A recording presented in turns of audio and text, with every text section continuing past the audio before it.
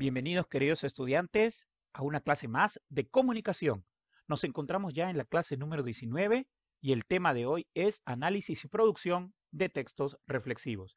Soy el docente Pablo Astorga y espero que esta clase te sea de provecho. Vamos entonces a ella.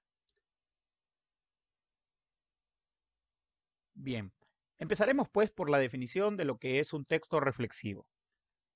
Un texto reflexivo es aquel que intenta ofrecer un mensaje que apela al pensamiento crítico y a la toma de una posición respecto a un tema o problema de la realidad. Recuerden que este tipo de textos busca siempre generar un cuestionamiento en el lector. Básicamente un texto reflexivo lo que va a hacer es tomar una posición, usualmente una posición en contra, cuestionadora, ¿no? Que interpela la realidad sobre un tema de esta misma realidad. ¿Y qué cosa va a hacer? Va a apelar a nuestro pensamiento crítico o juicio crítico. ¿Y qué es el pensamiento crítico? Es nuestra capacidad de poder, obviamente, cuestionar, ¿no? La realidad, ¿no? De no, pues, eh, aceptarla tal como es, sino intentar también, pues, eh, ofrecernos, ¿no? A través de una serie de reflexiones, ¿no? Un nuevo modo de ver las cosas. Muy bien. Ah, y usualmente los textos reflexivos son textos argumentativos. Bien, vamos a las características de los textos reflexivos. Eh, en primer lugar, tienen un mensaje determinado por la toma de una posición específica respecto a un problema. Además, usan argumentos bien definidos, ¿no? Eh, obviamente para defender una tesis que también está bien definida tienen un lenguaje que busca el cuestionamiento, es decir, la pregunta, ¿no? Para los textos reflexivos, preguntar es muy importante. Interpelar lo real, los problemas de la realidad, es muy importante, ¿no? Es trascendental. Aborda el tema desde la visión problema-solución o causa-efecto. Muy bien, continuamos entonces con la clase. Bien, Vamos a las pautas para poder hacer un análisis de un texto reflexivo. En primer lugar, leer con atención señalando los puntos centrales del texto, argumentos, inferencias, planteamiento crítico y cuestionamiento, ¿no? Todos los textos críticos siempre tienen un planteamiento argumental, es decir, un desarrollo argumental que va a defender una tesis si nosotros como lectores podemos encontrar ese desarrollo y entender ese desarrollo que está haciendo el autor, nosotros vamos a poder comprender el texto reflexivo. Además, nosotros también tenemos que desarrollar la capacidad inferencial y poder determinar qué es lo que está cuestionando y cuál es su punto de vista respecto de ese problema de la realidad que está cuestionando, obviamente, el texto reflexivo. Además, tenemos que realizar inferencias sobre la intención y mensaje del texto a partir de preguntas como ¿para qué se ha escrito el texto? ¿Por qué es un problema lo que se expone? ¿Estoy de acuerdo con lo expuesto? ¿Cuál es el mensaje del texto? ¿Qué me ha enseñado el texto? ¿Y de qué no estoy de acuerdo con el texto?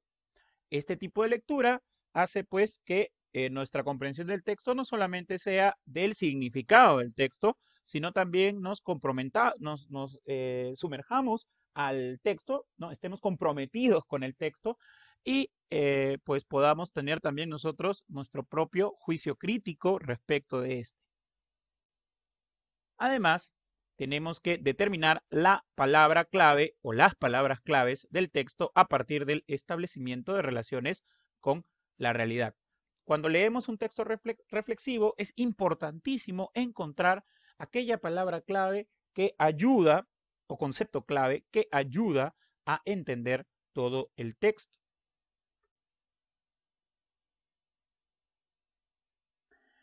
Bien, vamos ahora a la redacción de textos reflexivos. Vamos a ver las pautas para poder redactar un texto reflexivo.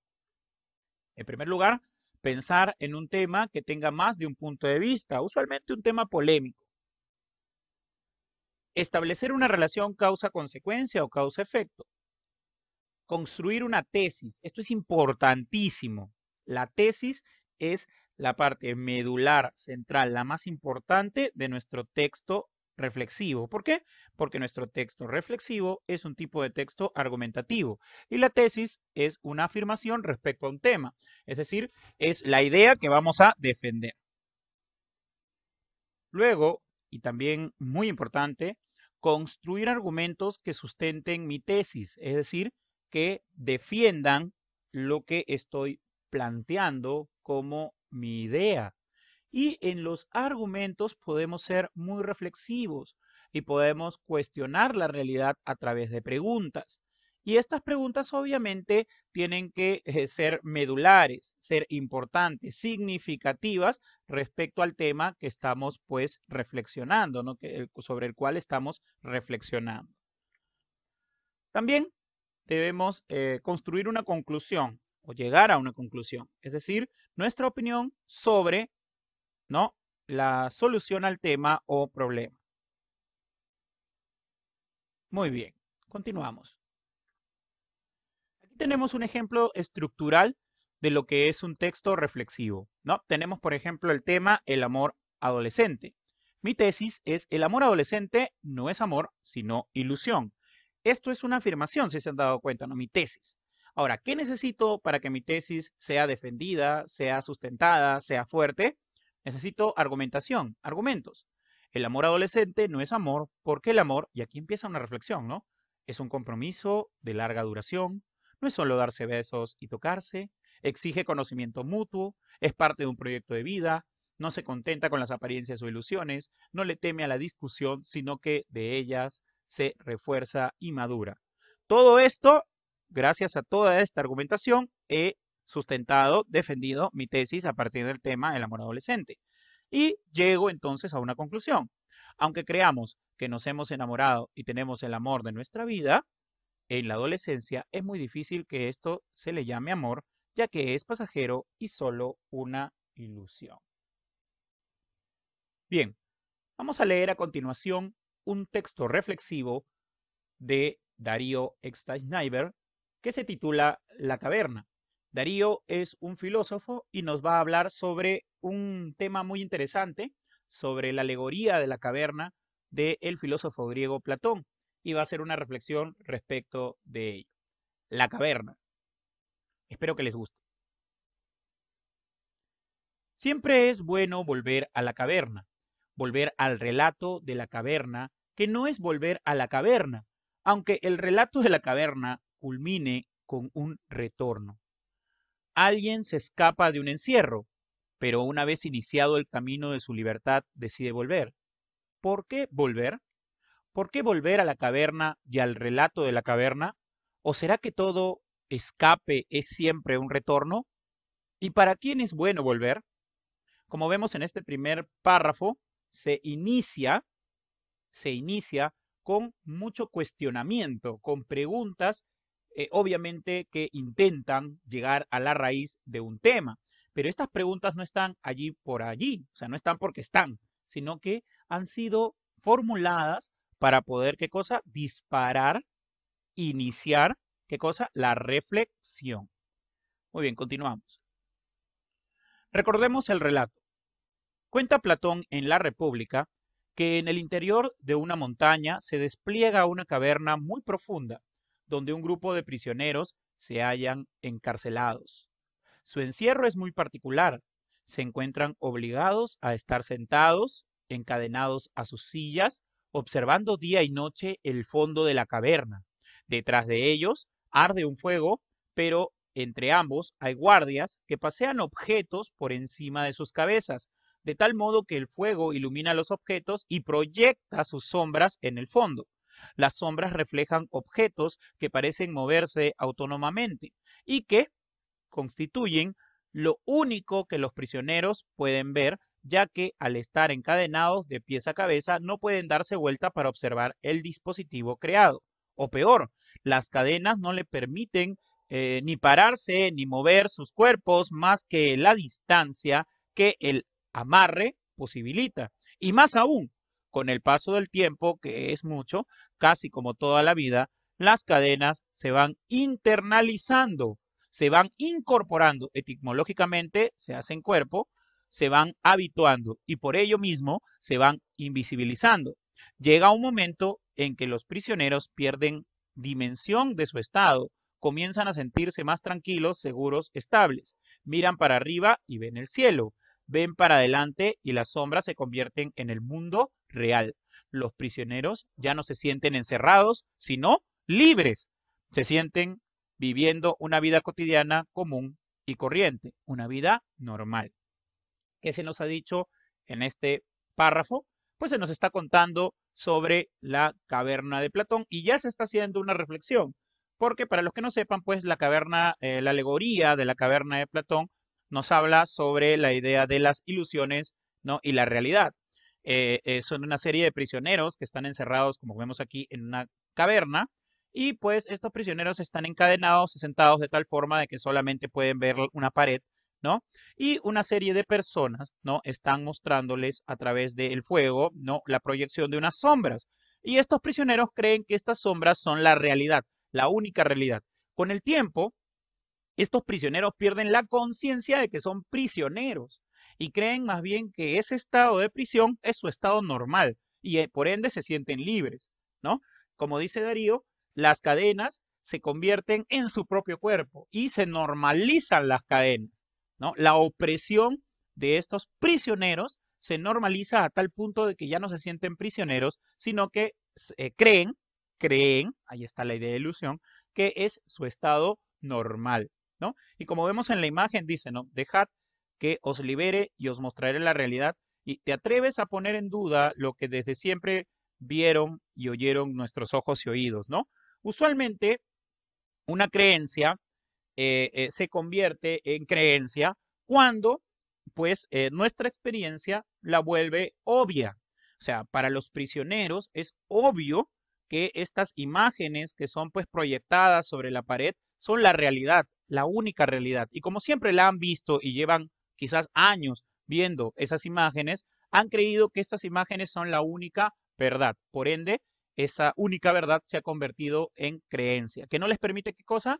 Que no les permite ver otros horizontes, otras perspectivas, ¿no? Y ahí está pues la alegoría de la caverna. Continuamos.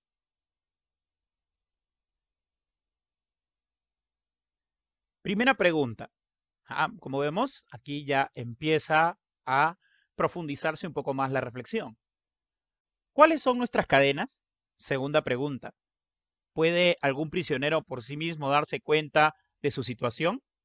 Probablemente no. La caverna ejerce su poder cuando el prisionero levanta la cabeza y ve el cielo, cuando mueve mínimamente el cuello y cree que está mirando para atrás, cuando se mueve un poco sobre su silla y cree que está caminando, cuando atado a sus cadenas cree que es libre, una vida normalizada. Interesante. Continuamos. Pero un día, y aquí viene pues esa ruptura, esa toma de conciencia, un prisionero se despierta y ve a sus pies sus cadenas en el piso. No entiende nada. Siente su cuerpo más aliviado, pero también más angustiado. ¿Por qué? Porque al tomar conciencia, nosotros también tomamos conciencia de nuestra finitud, de nuestra libertad. Y al ser consciente de nuestra libertad, nos encontramos ante la angustia. Da vuelta la cabeza y el giro excede lo acostumbrado. Se mueve y su cuerpo se levanta. Ve la silla, ve el fuego detrás, ve las sombras ya como sombras. Vuelve a ver en el cielo el interior de la caverna. Se horroriza, su primera reacción es querer volver a encadenarse y retornar a la comodidad, a lo seguro, a lo obvio, pero no puede. Ya supo y no hay vuelta atrás. Decide entonces ir a ver qué hay afuera, en el verdadero mundo exterior, ¿no? Y así asciende hasta que sale de la caverna y en una sensación sublime observa a lo lejos el mundo desplegarse infinitamente su impulso lo lleva a querer irse, pero algo lo llama desde su interior de la caverna, sus compañeros. Se siente responsable, siente que debe volver y liberarlos, siente que no puede abandonarlos, que debe volver.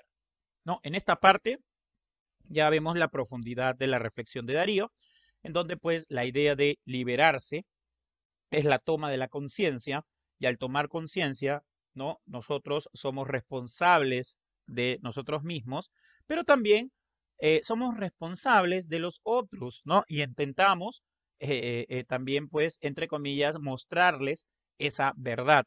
Y aquí viene algo interesante. Claro que el encuentro no es fácil. Su alerta no encuentra eco. Nadie le cree. Lo toman por loco, molesto, desquiciado. Creen que le han lavado el cerebro. Le cuestionan sus amistades, sus hábitos distintos, sus nuevos compañeros. Nadie que no ve sus cadenas puede escuchar a alguien que viene a decirnos que estamos encadenados. Muy interesante esa parte. Nadie ni siquiera el mismo, o peor, tal vez el liberado entiende en ese acto que él también sigue encadenado, pero de otro modo, que el exterior de la caverna tal vez no sea más que el interior de una caverna más grande. Interesante ese párrafo, ¿no? En donde nos habla de que posiblemente pues esta nueva verdad en realidad es otra creencia más y eh, que nos mantiene también encadenados a una caverna mucho más grande. Hemos pasado de eh, un, ser prisioneros de una cavernita a ser prisioneros de una cavernota, ¿no es cierto? Muy bien. Esto ya no es Platón, pero no importa. Si así fuera, el liberado que comprende que nunca será definitivamente libre necesita cambiar el esquema o en principio moverse, moverse. ¿no? Ahí hay una palabra clave, queridos estudiantes. Ir saliendo de una caverna para seguir saliendo de la caverna siguiente. Salir para seguir saliendo. Y sin embargo, de una sola cosa está seguro. Mientras sale, tiene que volver a buscar a los suyos y plantear la diferencia. La diferencia, ¿no? Interesante. Dice Platón que es la gran tragedia de la filosofía, buscar un saber que se sabe que nunca vamos a encontrar. Pero no importa, porque lo que vale es la búsqueda, otra palabra clave, ¿no? Movimiento y búsqueda. Eso es lo que nos impulsa a salir de las cavernas. No se lucha para ganar, se lucha para luchar, ya que si todo es caverna, la única libertad posible está en el movimiento, junto a otros. Siempre es bueno volver a la caverna, a la caverna y al relato. Volver para seguir saliendo, ¿no? En pocas palabras, lo que nos está diciendo Darío es que debemos siempre estar en constante desarrollo y cuestionamiento de lo que en apariencia parece lo real, ¿no? Pero que al ser cuestionado nos damos cuenta de que es ilusorio. Y al cuestionar la realidad, mientras más nos preguntamos, mientras más cuestionamos, mientras más reflexionamos esta realidad, pues estamos en ese movimiento para salir de la caverna. Y termino con esta frasecita que he puesto aquí en la imagen de Saramago, ¿no? Un escritor muy importante, ¿no? Eh, el mundo se está convirtiendo en una caverna, igual que la de Platón, todos mirando imágenes y creyendo que son la realidad, ¿no? Eh, como vemos, eh, la caverna de Platón, la alegoría de la caverna de Platón, es básicamente la explicación de como una creencia, una ilusión, para nosotros, ¿no? Se convierte en una verdad. ¿Y para qué? Para poder vivir de manera cómoda y normalizada. Pero cuando cuestionan estas creencias, cuando somos, pues salimos de esta, de esta caverna, eh, nos encontramos ante nuestra propia conciencia, nuestra responsabilidad y el peso de nuestra libertad. Y pues eh, tenemos que volver a procesar toda esta realidad para volverla a convertir en creencia. Eh, hay eh, una frase muy interesante de Marco Aurelio de Negri que habla sobre eso. Nosotros, los seres humanos, necesitamos de creencias. O sea, es muy importante la creencia, porque si solamente viviéramos de ideas y de estar del movimiento puro del pensamiento, este, nuestra vida no tendría, eh, no se podría vivir, sería invivible. Necesitamos de creencias, porque estas creencias nos, vamos a decirlo así, nos permiten la vida, vivir. Y el ser humano es un, es un ser de creencias. Eh, tenemos no solamente religiosas, sino creencias de todo tipo. Es decir, aquellas ideas, eh, aquellos, aquellos eh, em, vamos a decirlo así, verdades que se nos muestran como obvias y que si nosotros las pensamos un poco, pues no son obvias, ¿no? Sino que son impuestas por usualmente, por ejemplo, la convencionalidad, ¿no? Muy bien. Eh, continuamos. Aquí tenemos nuevamente la alegoría de la caverna de Platón, ¿no es cierto? Eh, aquí tenemos al personaje que logra salir de la caverna y ver la luz del día, del sol, y al regresar a la caverna, pues le dice a sus compañeros, dejad que os libere y os muestre y os mostraré la realidad, ¿no? Les dice la realidad, la verdad verdadera, algo así, ¿no? Y este, los que están encadenados, pues no quieren salir de sus creencias y por ende cuestionan, ¿no? Lo que dice el liberado, ¿no? ¿Te atreves a poner en duda lo que desde siempre vieron y oyeron nuestros ojos y oídos? Y así pues podemos ver esta eh, alegoría de la caverna de Platón como pues eh, la metáfora de pasar de la ignorancia al conocimiento. Bien, hemos terminado entonces, queridos estudiantes, con la teoría de la clase de hoy. Hoy hemos aprendido un poco sobre los textos reflexivos y cómo estos nos pueden ayudar a profundizar en nuestras ideas. Además, hemos aprendido a redactar textos reflexivos y por último hemos leído un texto reflexivo muy interesante sobre la caverna dentro de la alegoría de la caverna de Platón. Espero que esta clase te haya sido de provecho. Mi nombre es Pablo Astorga y nos vemos en una próxima ocasión. Chao.